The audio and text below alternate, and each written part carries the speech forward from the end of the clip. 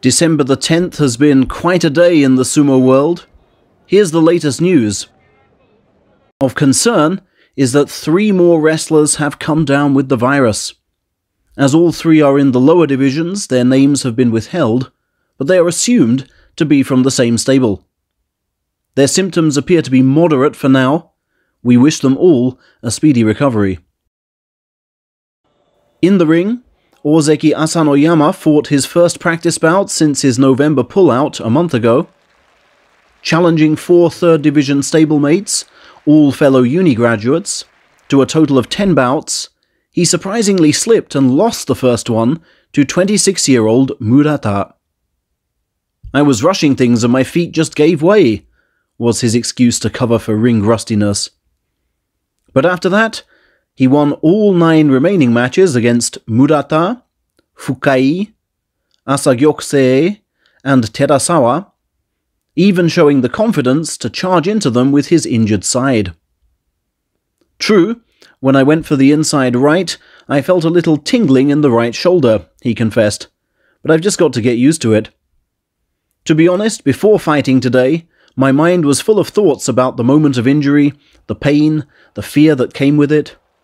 But once out there, I took things patiently, went forward when I could, resisted when I had to, and reeled my opponents in when required. I'll continue building up my body for the Kokugikan practice next week.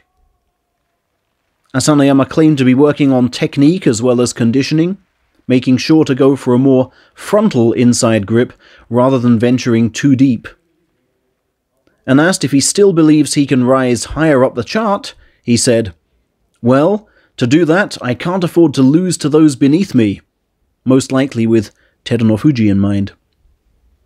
And he's equally conscious of his poor record against Hakuho and Kakuryu, saying, If I come to beat the Yokozuna, that's when the Yokozuna rank comes into view. But if I can't get past them, I can't aim for it. Now, as you know from my other post today, Kakuryu has now joined Hakuho in acquiring Japanese citizenship, and may now actually retire before his next meeting with Asanoyama can take place. Commenting outside Michinoku stable today, the 35 year old said, It took a really long time to come through, so obviously I'm happy. Clarifying that he'd waited two and a half years. It's a weight off my mind, he continued, so now I can refocus on my sumo. Asked to elaborate on why he'd naturalized, he said, Since coming to Japan at 16, sumo is all I've known, and without it I wouldn't be where I am. I have to repay sumo for the life it's given me, and would like to train up the next great fighters.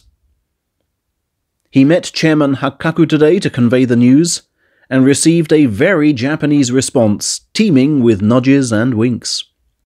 Make sure you do your best next time, Elsewhere, Takakeisho has made light of Hakuho's vow to block his Yokozuna promotion charge in January. Our match will mean nothing if I lose some of the earlier ones, the Ozeki said.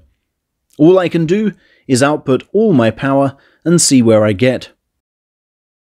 The rivals are both expected to attend next week's Kokugikan practice, but the rotund Ozeki is refusing to hype things up, saying, It doesn't matter who else is there, it's all about what I'm going to do. He believes the spiritual side of his game has improved, saying he no longer values his sumo in terms of wins and losses. Before, I always used to think that my sumo must have been correct if I'd won, he explained, but that was totally wrong.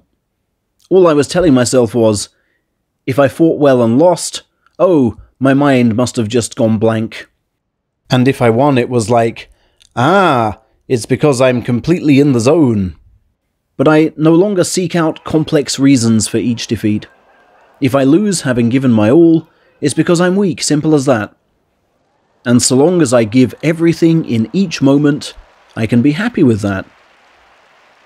Inside, he must at least be preparing for the prospect of facing Hakuho next week, for if he's called out, he will have to fight. And finally, Takakeisho's stablemate Takanosho has again admitted that part of him can't believe the huge strides he's taken of late after having toiled in lower divisions for seven and a half years. Now aiming for Ozeki, he believes that good performances against Takakeisho in training can help him rediscover the form of March 2020, when he finished joint second with 12 wins. My sumo repertoire has improved, I've been mastering right hand techniques, and my raw power has also been boosted, Takanosho beamed. He's another man who feels emboldened by Kakuryu's impending retirement.